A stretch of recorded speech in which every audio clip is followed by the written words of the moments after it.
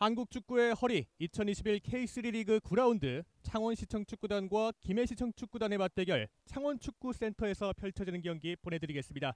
안녕하십니까 캐스터 백현기입니다. 오늘 도움 말씀에 장성준 해설위원 나오 계십니다. 아니, 창원시청 축구단의 라인업 살펴드리겠습니다. 이승규 골키퍼, 황재훈, 차영환, 박경익, 김주헌, 양준모, 김현중, 정서운, 이현성, 김동섭, 이, 이해담 그리고 최경돈 감독이 이끌고 있습니다. 이에 맞서는 김해시청 축구단입니다. 김경태 골키퍼, 강영훈, 최현빈, 김민규, 박성우, 김은선, 주한성, 김창대, 루카스, 김재철, 배천석 그리고 윤성효 감독이 이끌고 있습니다. 어? 공격력을 또 출발했습니다. 왼쪽 빨간색 유니폼의 창원시청, 오른쪽 흰색 유니폼의 김해시청이 자리 잡고 있습니다. 와 김경태 골키퍼가 나란히 번갈아가면서 주전 골키퍼로 담당하고 있는 김해입니다.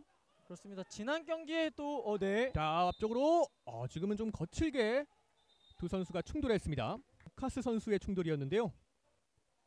아 지금 미처 박경익 선수가 뒤쪽에서 달려 들어오는 루카스 선수를 인지하지 못했. 또 이런 순간적으로 압박하는 능력 좋습니다. 그렇습니다. 그 점들을 잘 살려야겠습니다. 자 앞쪽으로 빠져나오는데요. 한 번에 연결이 자, 됐습니다. 박스 안쪽 왼발 자! 꺾어줍니다. 그대로. 자, 아 확실히 김해시청이 또 매서운 공격력을 자랑해봤습니다.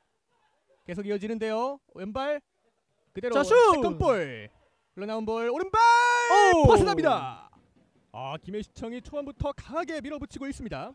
자, 이 루카스 선수의 이제 한 번의 전방 압박 이후에 또 분위기를 가져온 다음에 굉장히 잘 몰아쳤었는데 네, 지금 이런 슈팅 시도는 또 굉장히 좋았습니다. 네. 자 여기서 일단은 집중력을 갖고 김해 아, 창원이 걷어냈는데 재압박에 성공한 김해였어요.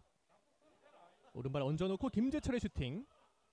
아 그리고 달려 들어오던 박성우가 어, 굉장히 임팩트가 잘 맞은 슈팅이었습니다. 네, 발등에 굉장히 잘 얹혔는데 이 방향이 조금 빗맞으면서 아쉽게 빗나갔습니다. 네. 자 이렇게 또 박성우 선수가 이번 시즌 김해시청의 오른쪽 풀백을 담당하면서 종종 번뜩이는 슈팅을 날려준단 말이죠.